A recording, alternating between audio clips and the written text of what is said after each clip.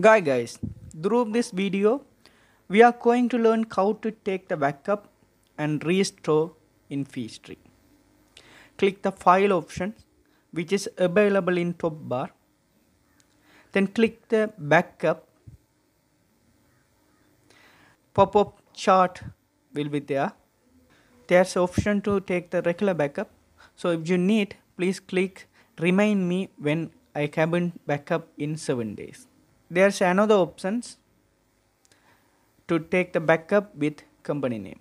If you need the company name with backup you can click. Otherwise don't click. Then click the backup. Then Peachtree asks the location to serve the backup.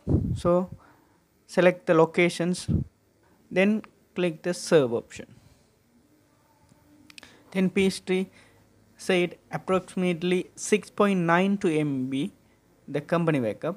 If you agree with this statement you can click ok then automatically backup serve in your file. We can see how to restore the backup. Click the file which is available in top bar then click the restore options. Then we can select the location file where our backup in. Click and our backup in uh, download.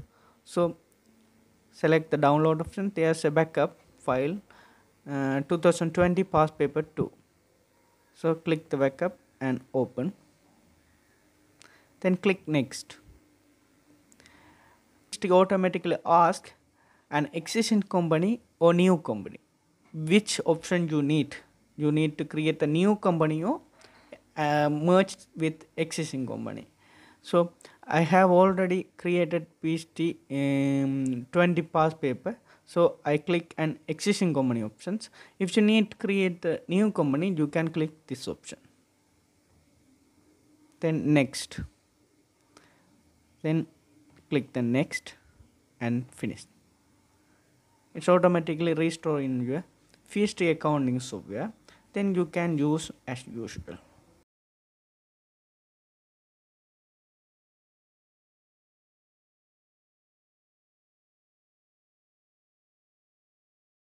yeah it's now restored. So you can use this file as usual. So thank you so much for watching these videos. Hope these videos more clear about restore and backup. Uh, if any students or viewers watching these videos without subscription please do the subscribe and click the bell